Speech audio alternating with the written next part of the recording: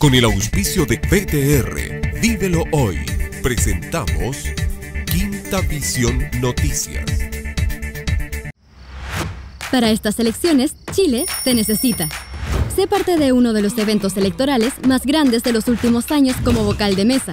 Si quieres ser vocal de forma voluntaria, preséntate este 15 de mayo antes de las 9 de la mañana ante el delegado de tu local de votación, quien te asignará una mesa en caso de ser necesario. Infórmate en cervel.cl o al 606.166. Elige el país que quieres. Servicio Electoral de Chile. Cervel. Hay quienes creen que las empresas no tienen rostros, que los resultados los dan los números y que la felicidad es un souvenir. Nosotros creemos en la acogida, que la seguridad es prevención, que las empresas tienen mil rostros de hombres y mujeres que no son un número, sino nuestro mayor desafío, nuestro centro.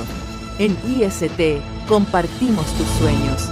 IST, contigo, seguro. Los seleccionamos a él, a ella, a ellos, a ella y a todos ellos también. Presentamos PTR Plus. Seleccionamos el mejor contenido para que cuando elijas algo para ver sea siempre lo mejor. Y lo ordenamos en categorías según tus gustos y preferencias. Disfruta la selección HBO Top Series. Películas, lo mejor de Hollywood. Películas familiares, series españolas y mucho más. Ingresa con tu control remoto y encuentra la mejor selección de contenidos sin costo adicional. PTR Plus. Seleccionamos lo mejor para que disfrutes lo mejor.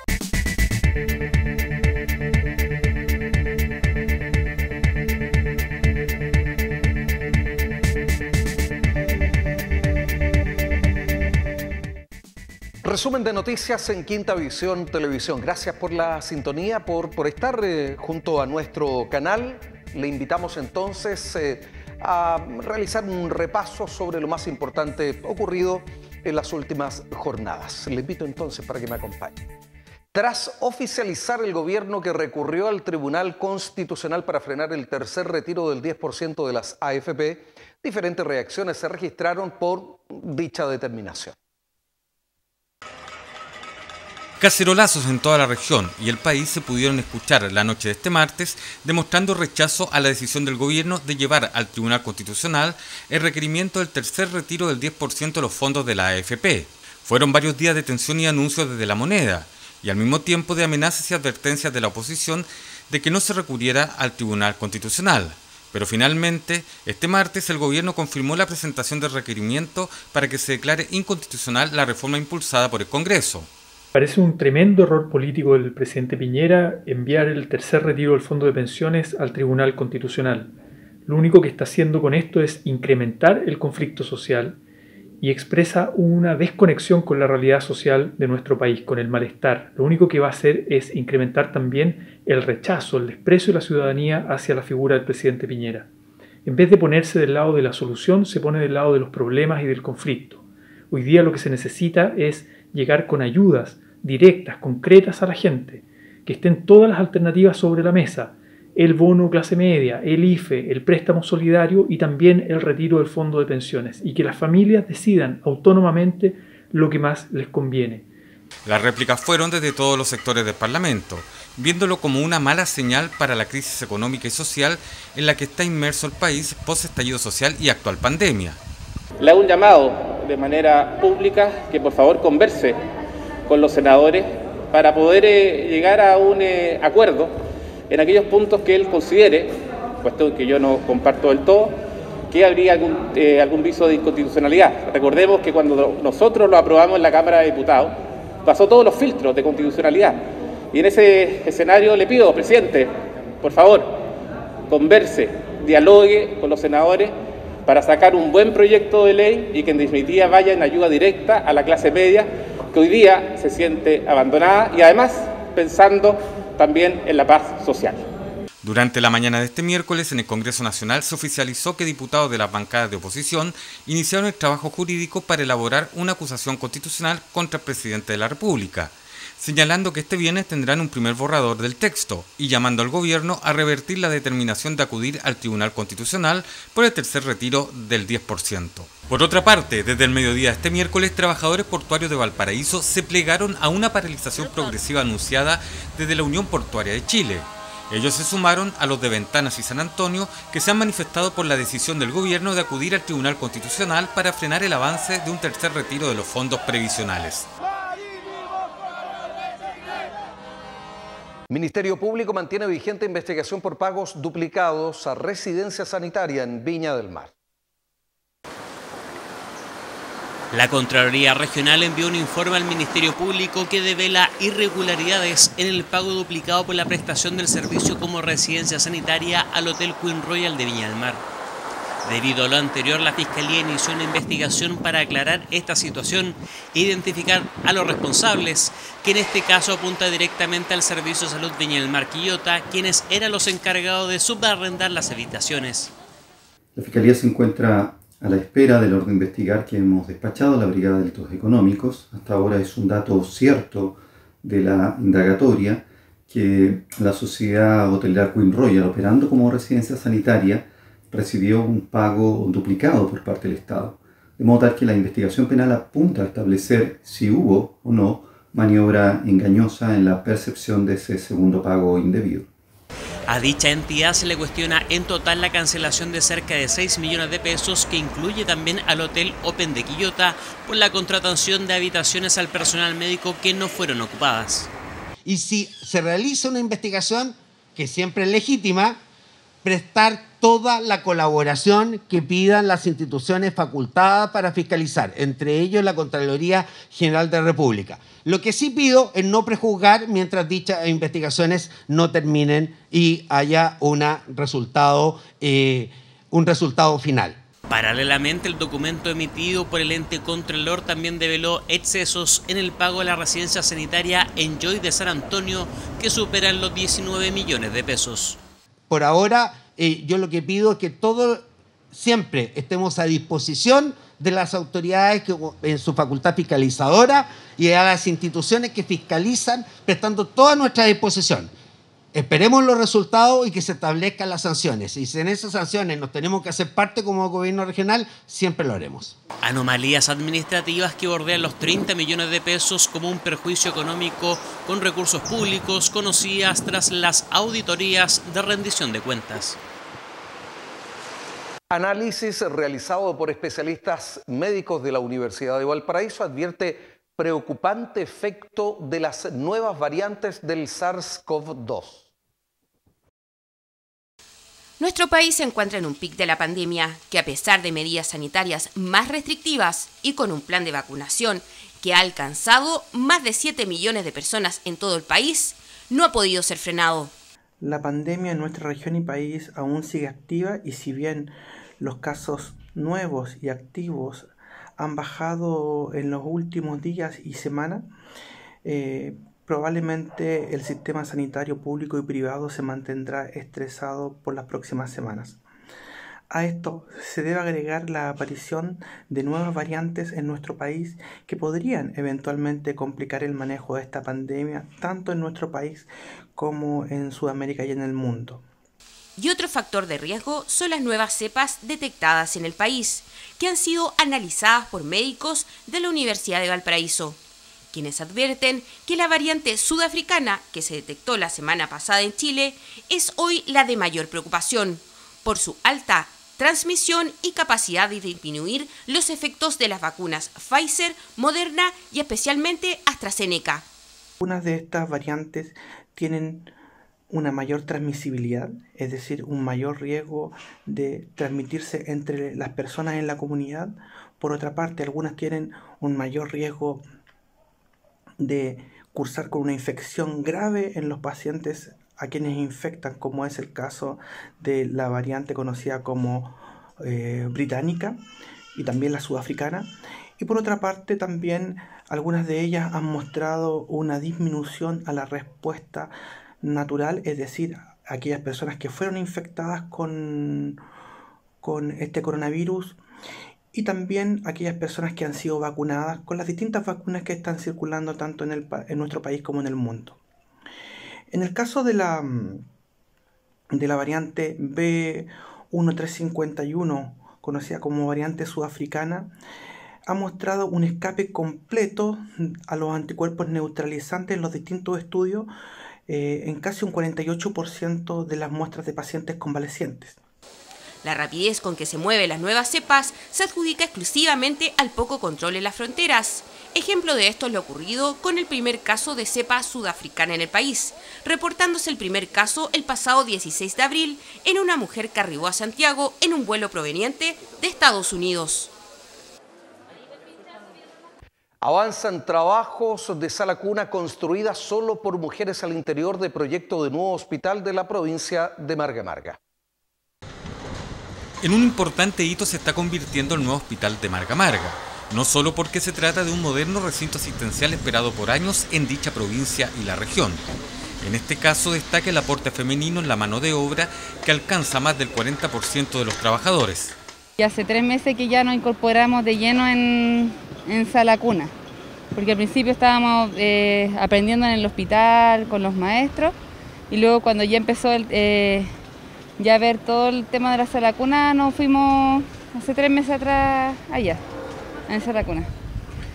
Eh, bonita, muy bonita, pero también agotadora, porque se tiene que aprender muchas cosas. Entonces, no, pero ha sido bonito. Yo creo que para todas. Un ejemplo de este aporte es que 35 mujeres, algunas con experiencia previa y otras que nunca habían trabajado en construcción, como parte de este proyecto son las que hoy levantan la sala cuna del nuevo hospital.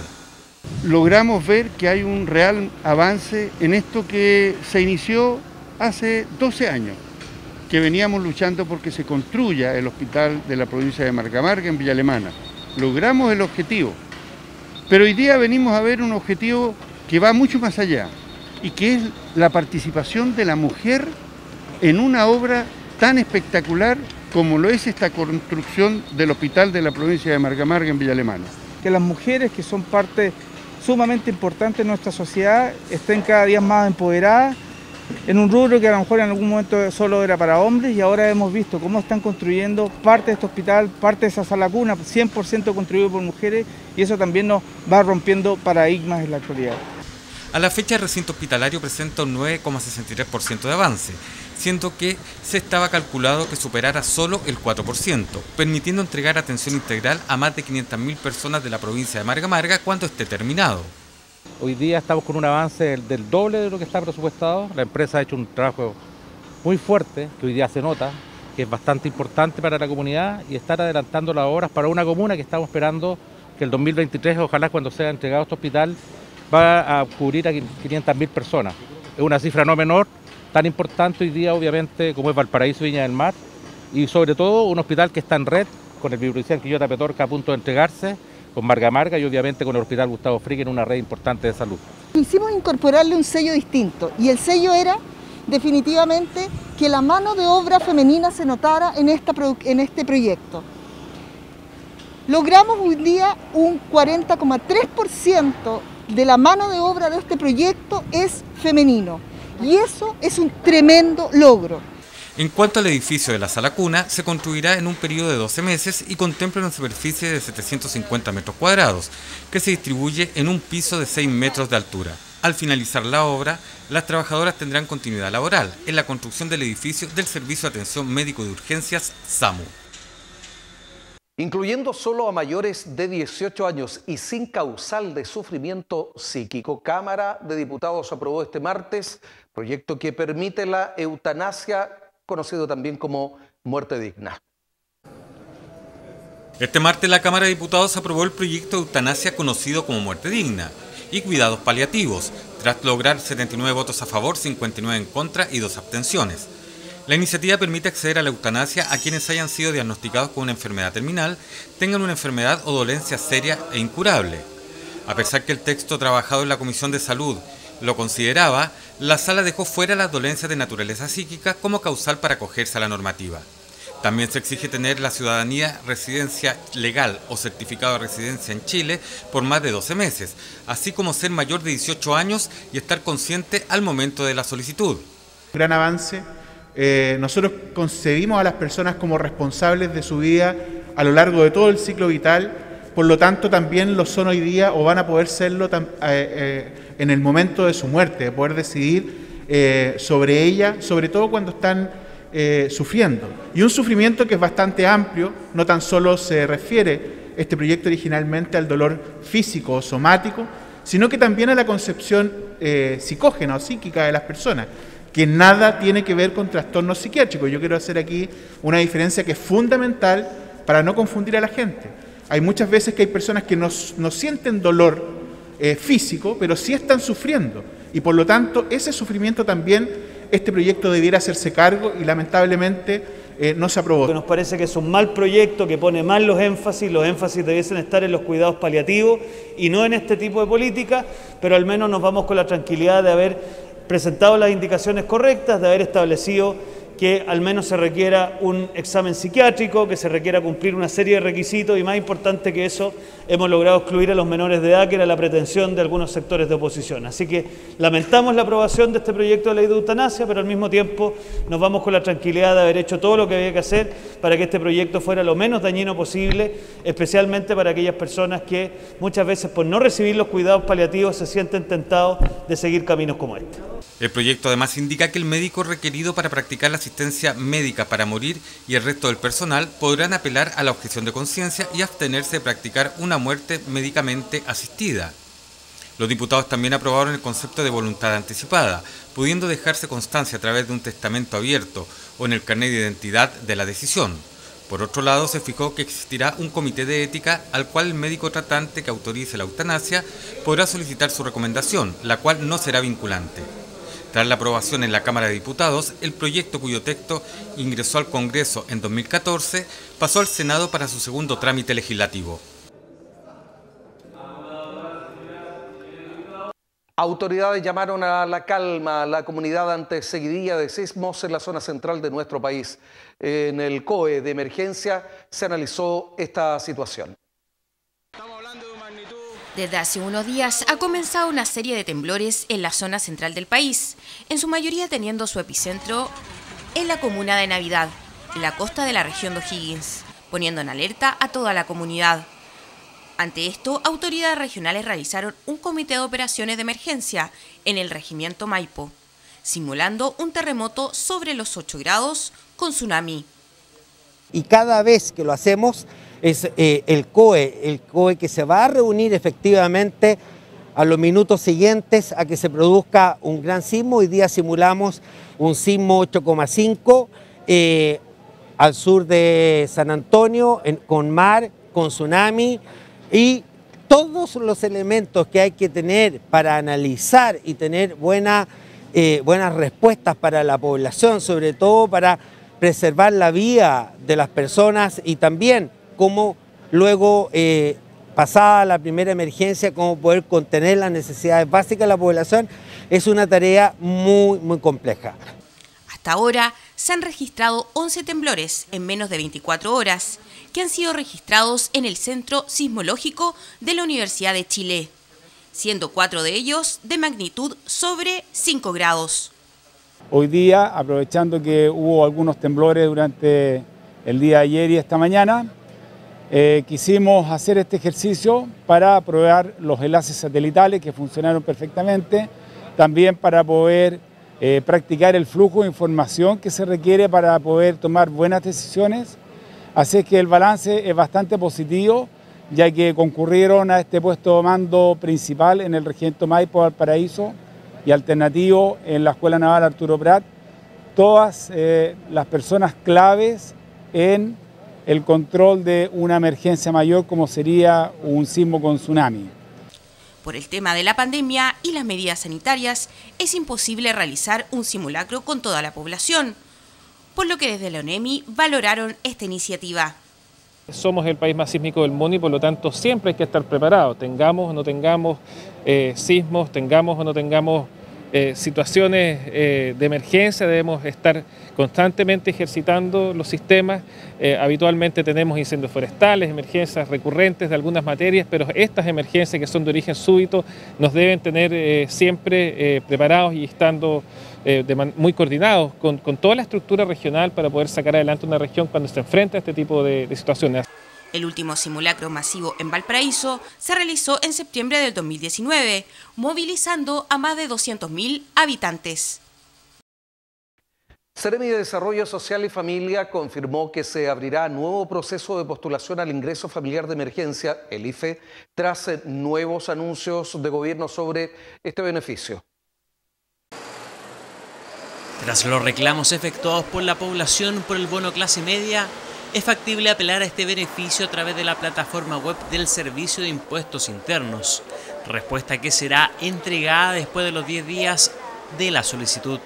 La base de datos que tiene Impuesto Interno eh, no está eh, observando adecuadamente a lo mejor la situación que tiene la persona en esta caída de ingresos de un año a otro y por lo tanto es, es importante incorporar estos antecedentes digitales ya para poder hacer el reclamo respectivo. La página es Servicio Impuesto Interno, sii.cl, donde además tiene un link de acceso donde está el bono clase media y donde, donde puede acceder la persona y ahí hay un link también que dice eh, en forma pormenorizada eh, para efecto de establecer el reclamo respectivo. Como una manera de compensar las familias que exigen un apoyo monetario durante la pandemia, esperarán recibir al menos el ingreso familiar de emergencia con pago automático equivalente a 100 mil pesos por cada persona de grupo familiar anunciado el lunes por el Ejecutivo permite eliminar sus requisitos, que también no va a estar ligado al plan paso a paso, por lo tanto todas las comunas de la región de Valparaíso lo reciben, que son 100 mil pesos por integrante de grupo familiar, ya no está la distinción entre una comuna y otra.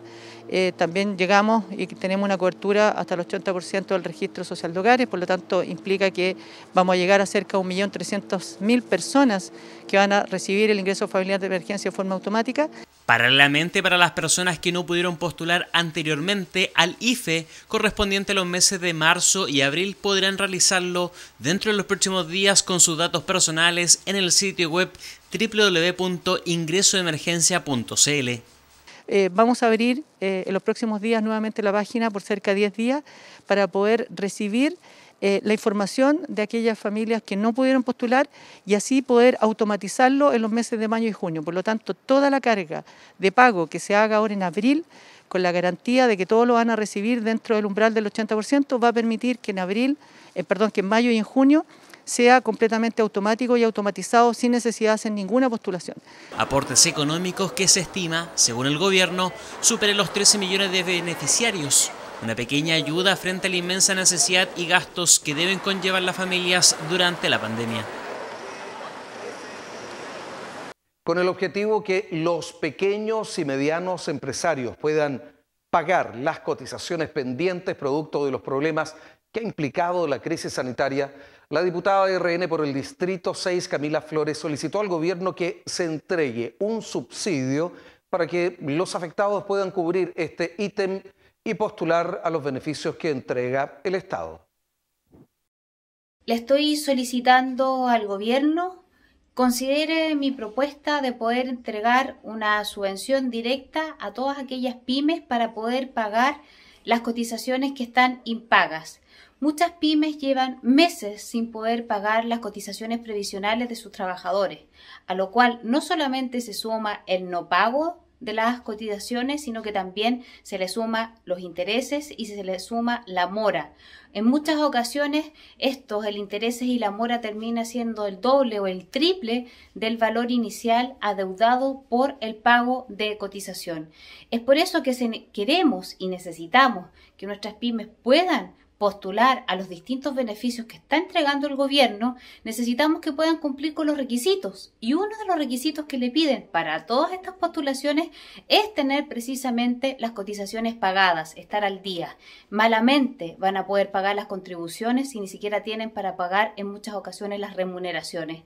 Es por eso que le estoy pidiendo al gobierno, particularmente al ministro de Hacienda, considerar entregar un subsidio, una subvención especial que vaya especialmente dirigida para pagar eh, las cotizaciones previsionales de los trabajadores, así ellos puedan ponerse los empleadores al día y postular a los beneficios que está entregando el Estado. VTR conectará a cerca de 1.300.000 estudiantes de todo el país como parte del programa Conectividad para la Educación 2030. En la región se beneficiará a 749 establecimientos educacionales.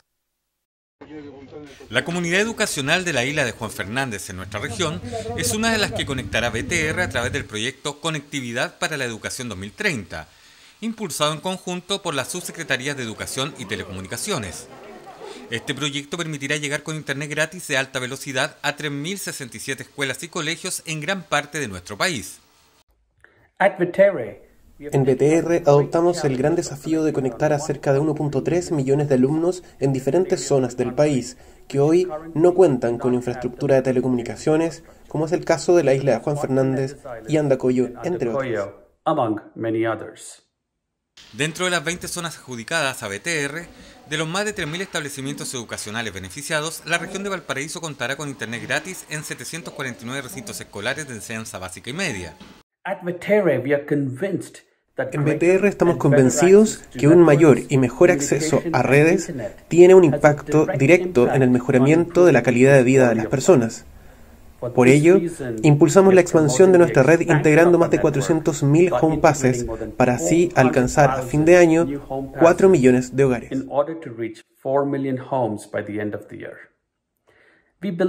Creemos que estas son demostraciones concretas de nuestro interés por apoyar y fortalecer la calidad de vida de las personas en distintas zonas del país. Este 2021 además es especialmente relevante para BTR, que proyecta fortalecer su presencia en el país desplegando un ambicioso plan de construcción de fibra óptica que le permitirá llegar a más de 50 comunas en el norte, centro y sur del país. Bien, cerramos de esta manera entonces nuestra edición de síntesis informativa, resumen noticioso con lo más eh, relevante de las últimas jornadas eh, que preparó para ustedes nuestro departamento de prensa. Gracias eh, por estar.